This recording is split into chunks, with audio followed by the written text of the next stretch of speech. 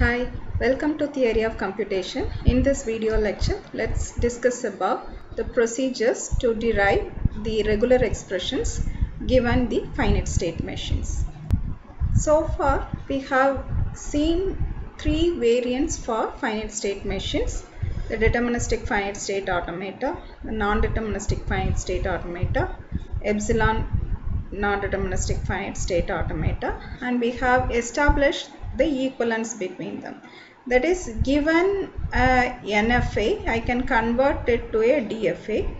Given a DFA, I can convert it to a NFA and similarly given a epsilon NFA, we have the procedure to convert it to DFA, modified subset construction and given a DFA, we can convert it to epsilon NFA by including additional transition required for the epsilon and lastly we have seen what is regular expression and we have said the languages of regular expression is also equivalent to the languages of the finite state given finite state automata so now we have to establish the equivalence between the regular expression and finite state machine in this video lecture, we are going to see some procedure in which given a DFA, we can derive the corresponding regular expression which represents the same language as that of the DFA.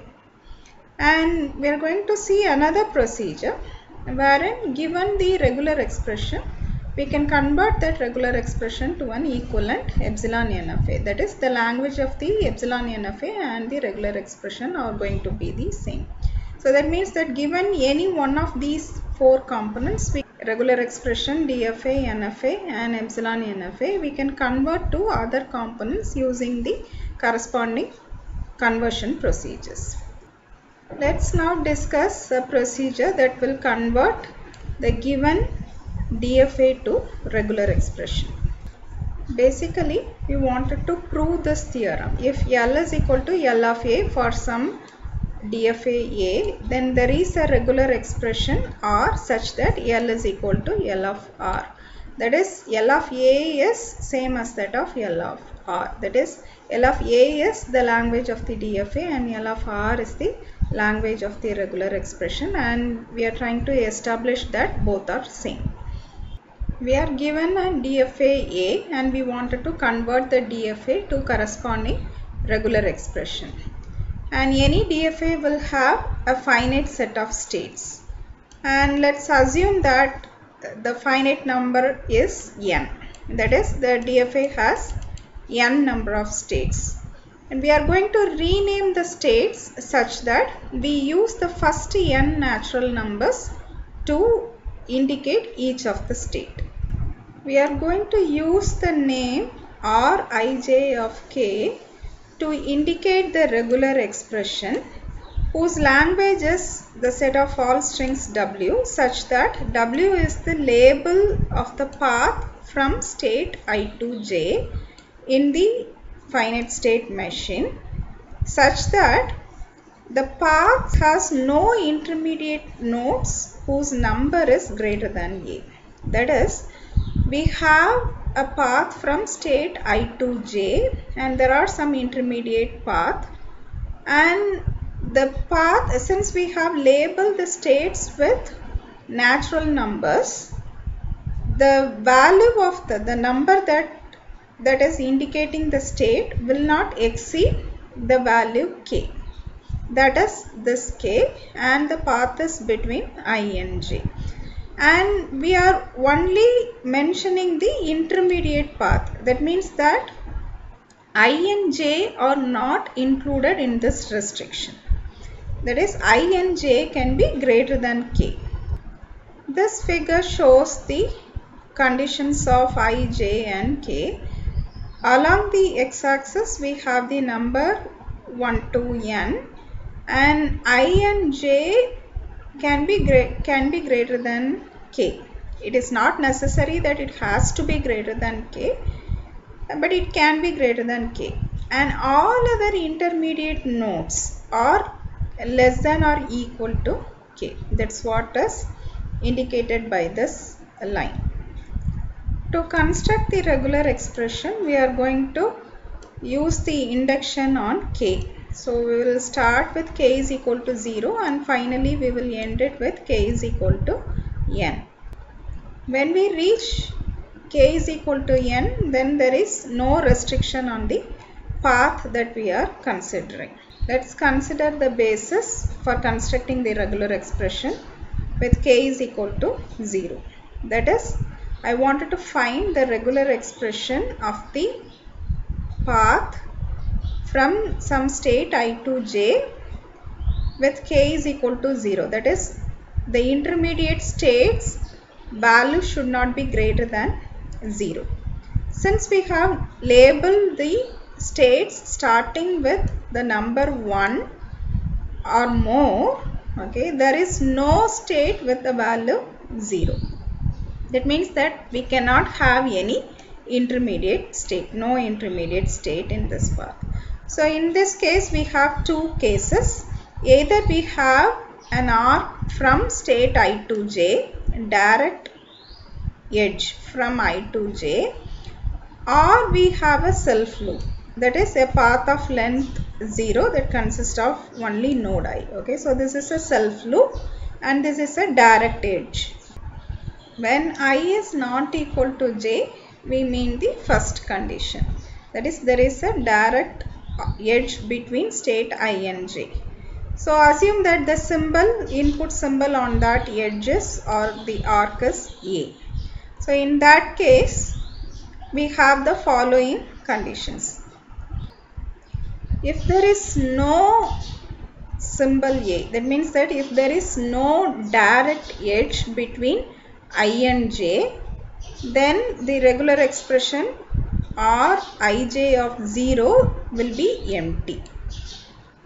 If there is a symbol a on the direct edge then the regular expression will also be a. If there are more than one symbol from i to j on the direct edge then the regular expression will be rij of 0 is equal to a1 or a2 or a3 etc up to ak if there are k symbols on that edge. Suppose if i is equal to j that means that it indicates the self loop. That means that even without any input symbol we stay on the same state. So for the first condition we'll have epsilon instead of the null set here we have null set union the null string which is epsilon. So when there is no symbol that is even without any self loop we have the regular expression epsilon. When there is a single symbol a on the edge then the regular expression will be epsilon or a that is either the null string or a. If it has more than one symbol that is k symbols then we have epsilon union the rest of the symbols a1 or a2 or etc up to ak. Now we can state the induction hypothesis. Suppose there is a path from state i to j that goes through no state higher than k. Such path exists in the DFA. Then there are two possible cases to consider. The first case is that the path does not go through state k at all. That means that the label of this path will be same as that of the label corresponding to the regular expression Rij k minus 1. Now we are trying to consider Rij of k and since the path does not include the state k, the path corresponding to this string from state i to j without passing through k will be equal to Rij of k minus 1. The next option is that the path includes the state k. So we can divide the path like this. We start from state i and reach k. this is one part. And from k we we reach back k. We pass through many states in between but not greater than k. And we visit k again. And this path can be repeated any number of times. So we transit from k to k. That is another part. And finally from k there is a path which will take us to state j. This is the third part. Why should we split the path like this? Because we assume that the path from state i to j goes via k. And we have chosen the k to be the point of termination in the first path. From i we terminate at k. That means that the intermediate path from i to k does not have any state greater than k minus 1 so this path correspond to the language r i k of k minus 1 and this path okay it is visiting from k we reach back k okay. So this path corresponds to the regular expression r k k we start from k reach k and the intermediate path will not have any value greater than k minus 1 and similarly this part we start from k and reach j.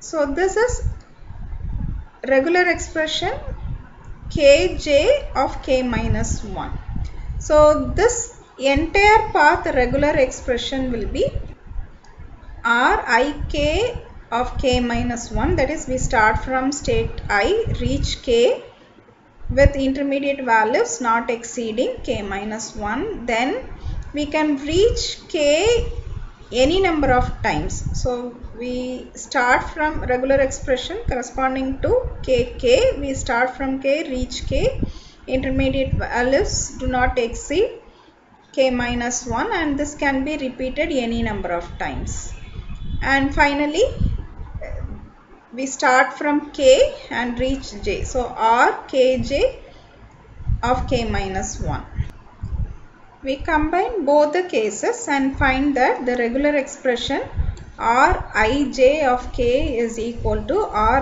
ij of k minus 1 so this path does not include any intermediate path greater than k minus 1 and we have a path from i to j.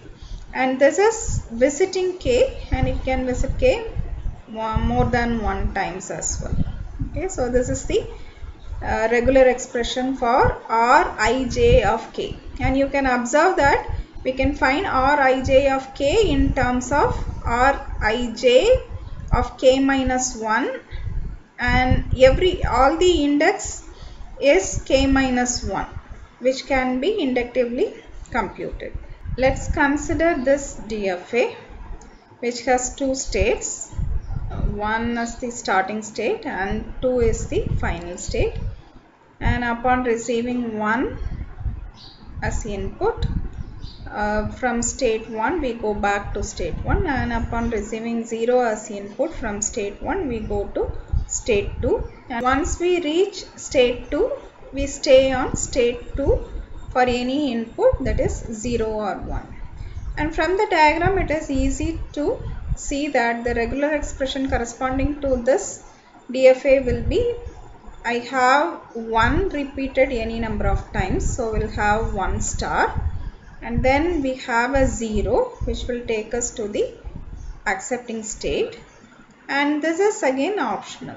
So we have 1 star 0 followed by 0 or 1 the whole star so let's systematically derive this using the procedure that we have seen. So let's compute the regular expression corresponding to R11 of 0. That is we start from state 1 and we remain at state 1 without passing through any state whose value is greater than 0, greater than or equal to 0. So which is this one? It is this path. We start from 1 and stay on this one. So we have a self loop with label 1. So what will be the regular expression corresponding to this?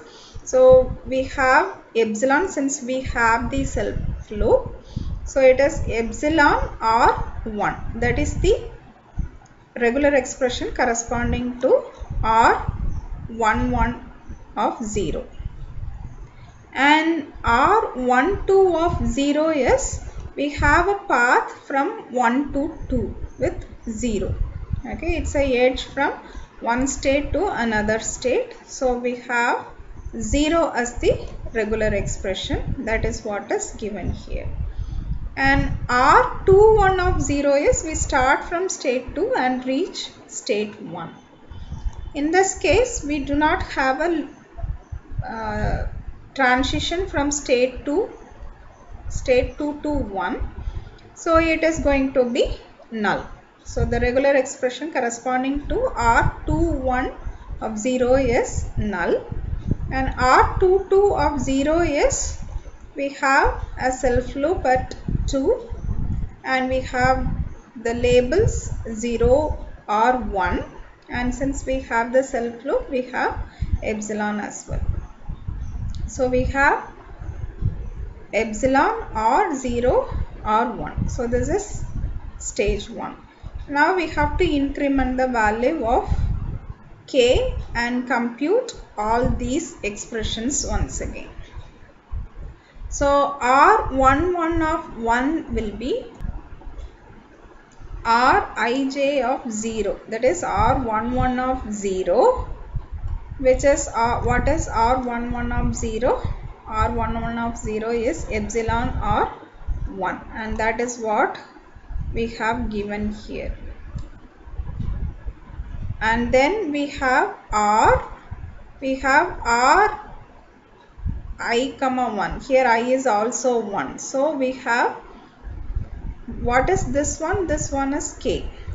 R i k right? So we here since we have i j k uh, sorry i j and k all three are 1 we have r 1 1 of 0 again. So it is epsilon r 1 again here we have r 1 1 of 0 epsilon r 1 of star. Again we have r 1 1 of 0 we have epsilon r 1 so this is the expression that we get. And how to simplify this expression? When we have a regular expression consider this to be 1 plus uh, epsilon to be r. When we have r r star r for concatenated to r star the result is also going to be r star. Why? Because r star will include r as well. So r r star will be equal to r star. So this epsilon plus 1 followed by epsilon plus 1 star will be r star. Similarly r star r will also be equal to r star so this entire expression is going to be simply r star which is going to be epsilon r 1 the whole star. So we have epsilon r 1 r epsilon r 1 the whole star. Now when we have epsilon r r the whole star then that is equal to r star this, because epsilon is also is in this r star right? Because r star is union of the empty string r union r r that is r concatenated with r and so on. So epsilon r 1 the whole star will be equal to 1 star. And we have epsilon r 1 followed by 1 star.